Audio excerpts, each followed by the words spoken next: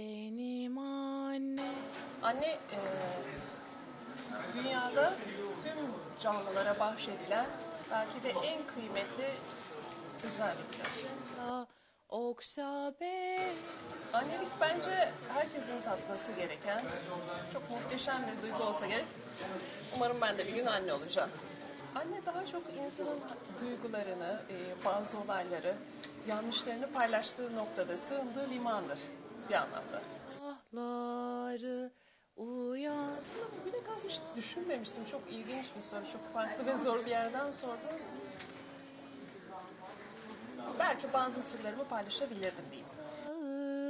Sağımda Belki de tarifsiz bir e, cümleler yeterli olabilir mi bilmiyorum ama anne sevgisi çok farklı. Hakikaten tarifsiz demek en doğrusudur.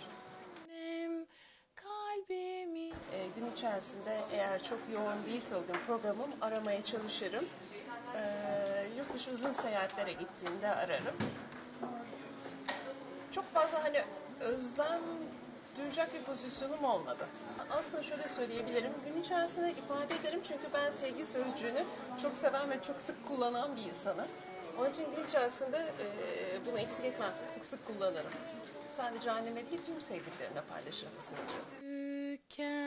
Bak Başta kendi annem olmak üzere tüm annelerin ellerinden öperim. Onlara kucak kucak dolusu sevgiler. Çünkü hakikaten haklarını ödeyemeyiz. Belki biz de bir gün anne olduğumuzda e, bunu daha iyi anlayacağız.